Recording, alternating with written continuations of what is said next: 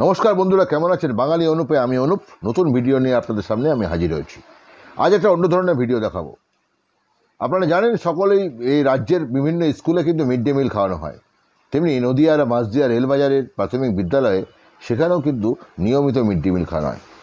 যারা mid day meal খাওয়াচ্ছে, তারা কিন্তু নিত্যমতো একটা পোশাক পরে থাকে আর যে শিশুরা মিড ডে মিল খাচ্ছে, তারা মহা আনন্দে খাচ্ছে। প্রত্যেকটা ছাত্রছাত্রী খায়।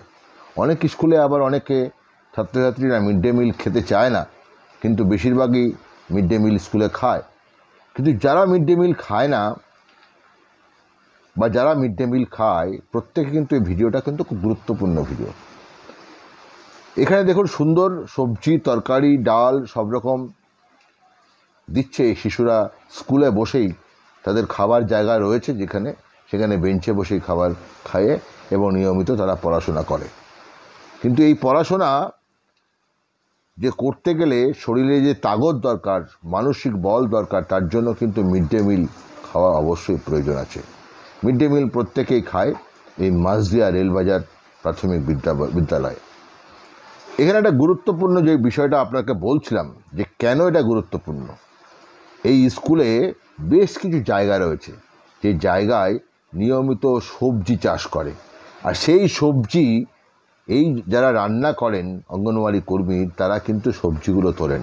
বেগুন বলেন, পটল, ঢেঁড়স, সব রকম সবজি হয়। শুধু আলুটা হয় না, পেঁয়াজটা হয় না, তাদের সেটা কিনতে হয়। কিন্তু এই যে সবজি, পুরো একদম কীটনাশক বাদ দেওয়া, একদম জৈব সারে কিন্তু এইসব সবজি করে। এমনকি বিভিন্ন শাক, পুঁই শাক বলেন, ডাঁটা বলেন, এবং সমস্ত রকম, এবং কাঁচা লঙ্কা সেখানেও চাষ করা হয়। এবং এখানে এই স্কুলেই যারা রান্না করেন, তারা সকালবেলায় যখন স্কুল খোলে, তখন থেকে তারা কিন্তু সবজি নিজেরা তুলে নিয়ে আসে এবং নিয়ে এসে সেই সব সবজিগুলোকে ভালো করে কেটে ধুয়ে রান্না করেন। আমরা গিয়ে দেখলাম যে এইসব অঙ্গনওয়াড়ি কর্মী যারা স্কুলে যারা রাঁধুনি, রান্নার কাজ করেন, তারা কিন্তু নিয়মিত একটা পোশাক কিন্তু তাদের থাকে এবং সেই পোশাক পরে তারা সবজিও তোলেন, সবজিগুলোকে কাটেনও এবং সবজিগুলো খুব ভালো করে ধোন, ধুয়ে নিয়ে ভালো করে রান্না করে প্রত্যেক শিশুদেরকে খাওয়ান। তারা বলেন যে বাজারে অনেক সবজি পাওয়া যায়। সেখানে হয়তো অনেক সবজির কীটনাশক যুক্ত থাকে। কিন্তু এই সবজি স্কুলে যদি চাষ হয়, সেই সবজি অনেক পুষ্টিকর হবে এই ছাত্রদের। তাই শিক্ষকরা এই সিদ্ধান্ত নিয়েছেন যে স্কুলেই সবজি চাষ করবেন। তাতে দুটো জিনিস হবে। শিশুরা পুষ্টিকর খাবারটা পাবেন। আবার শিশুরা এই চাষের প্রতি মনোযোগ হবে যে কীভাবে সবজি চাষ করা যায়, সেটাও কিন্তু পড়াশোনার পাশাপাশি তারা নিজেরা দেখতে পারবে।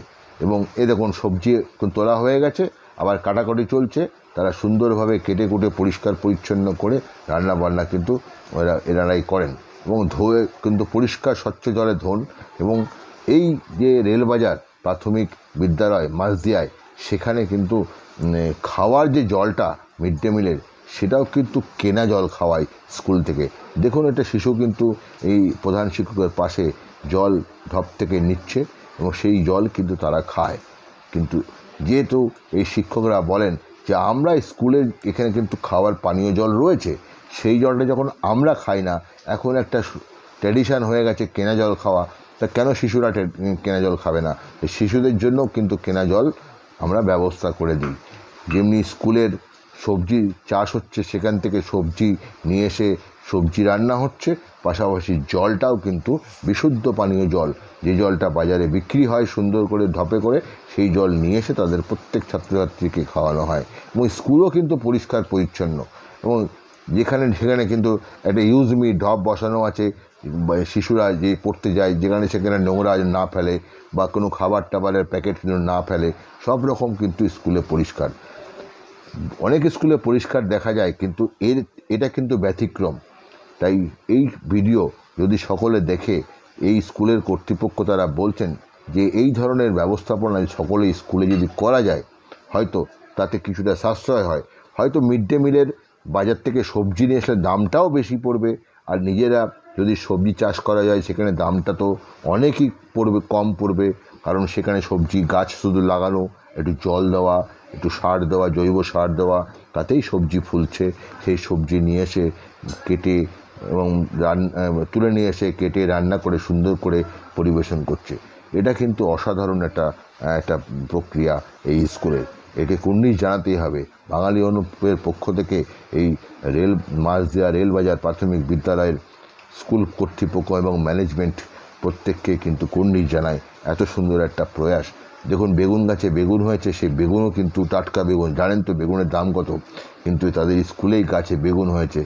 সেসব বেগুন মানে শীতকালে বলুন আর গরমকালে বলুন সারা বছর বিভিন্ন সবজি কিন্তু এখানে চাষ করা হয় এবং সেই সব সবজি দিয়েই কিন্তু মিড ডে মিল রান্না হয়। সেই মিড ডে মিল খেয়ে তারা সুস্থ, সবল থাকেন বলে শিশুরাও কিন্তু দাবি করেন। এবং শৌচাগর যে রয়েছে, আলাদা করে পুরুষ এবং আলাদা করে বালিকা প্রত্যেকের জন্য কিন্তু আলাদা আলাদা করে বাথরুম করা, শৌচাগার করা আছে। সেখানে তারা ইউজ করে এবং পরিষ্কার, পরিচ্ছন্ন। শুধু ফুল, ফল, ফলের গাছ নয়, কিছু সবজি গাছ ফুলেরও গাছ লাগানো আছে, সেটাও কিন্তু দেখতে খুব সুন্দর। তাহলে এই ভিডিওটা কেমন লাগল অবশ্যই দেখবেন। শেষে এই সবজি চাষ করে যে স্কুলের বাচ্চাদের খাওয়ানো হচ্ছে, তাতে অভিভাবকরা কি বলছে, সেটা কিন্তু অবশ্যই শুনবেন। তাহলে ভিডিওটা দেখতে থাকুন, অবশ্যই লাইক করবেন, কমেন্ট করবেন এবং পরিচিতদের শেয়ার করে দিন। এত সুন্দর একটা ভিডিও।